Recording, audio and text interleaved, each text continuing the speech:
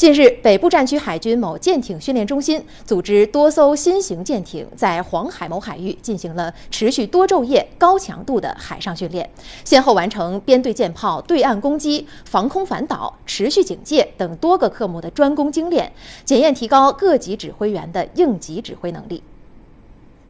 参加此次训练的唐山舰、齐齐哈尔舰、定州舰、牡丹江舰均是刚入列的新型战舰。为了检验舰艇作战性能和官兵协同配合能力，编队各舰一路航行，一路战斗。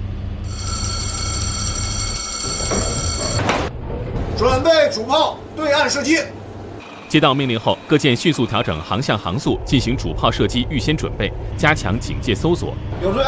炮协调，协调五。主炮号手依据目标信息迅速装定射击参数，静止战舰，开始射击。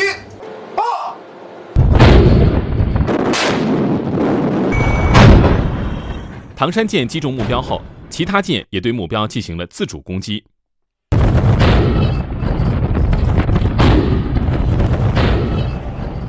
作为刚入列不久的新型舰艇，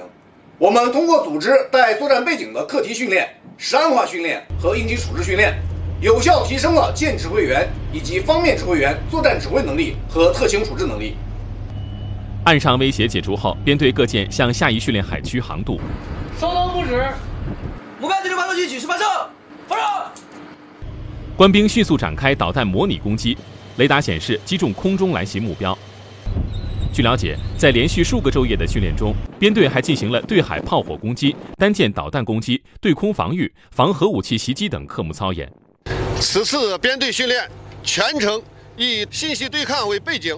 调动众多训练资源，指控、通信、情报、机要，与各武备系统密切协同，